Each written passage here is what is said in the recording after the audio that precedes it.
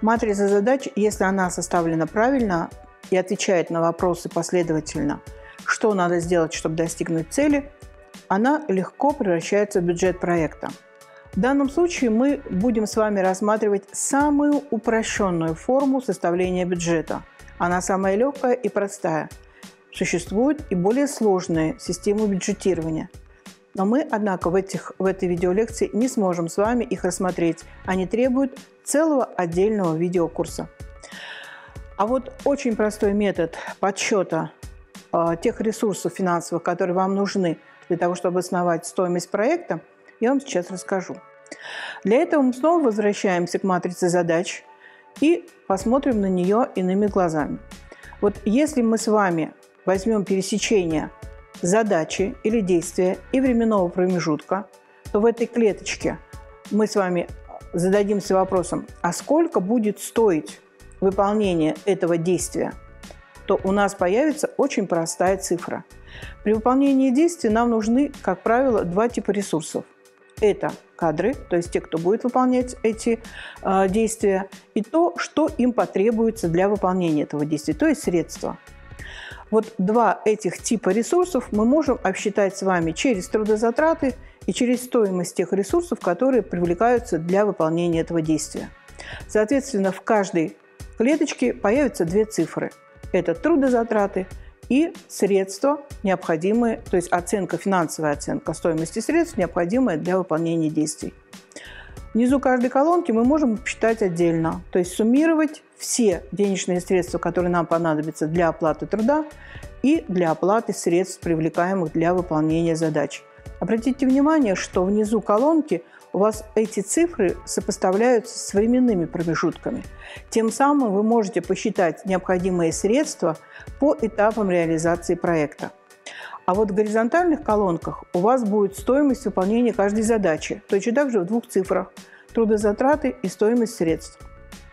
Но и пересечение итоговых строк вам даст стоимость проекта по трудозатратам и посредствам, ну и итоговую сумму.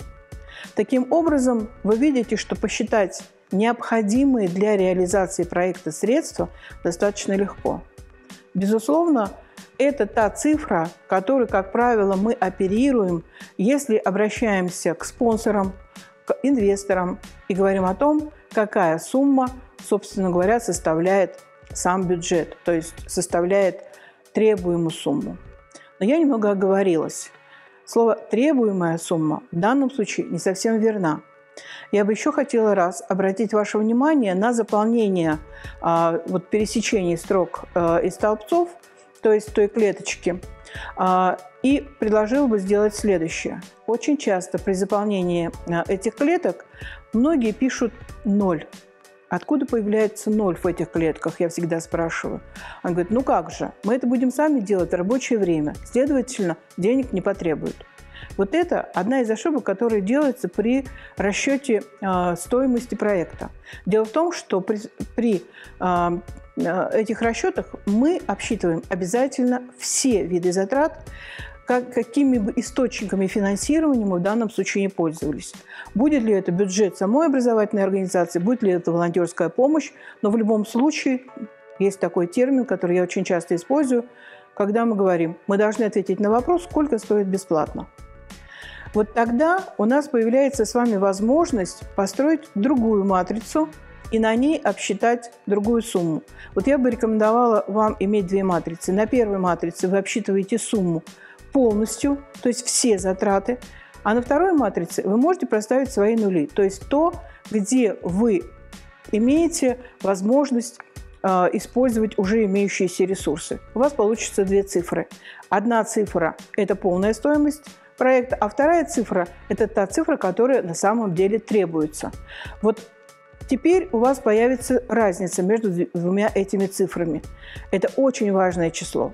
Дело в том, что это то число, которое характеризует ваш вклад, вклад вашей организации. Поэтому, когда вы приходите к инвестору, вам важно говорить две цифры. Общая стоимость проекта, например, 500 тысяч, вклад вашей организации 200 тысяч и 300 тысяч требуется ресурсов, которых у вас сегодня не достает. Вот такая подача а, стоимости проекта для инвестора намного важнее, нежели вы просто скажете о ее общей стоимости. Потому что она будет говорить о том, что вы партнеры, вы совместно реализуете этот, этот проект, а не просто просите деньги на э, его реализацию. Вот этот очень важный акцент я бы хотела, чтобы вы взяли для себя на вооружение –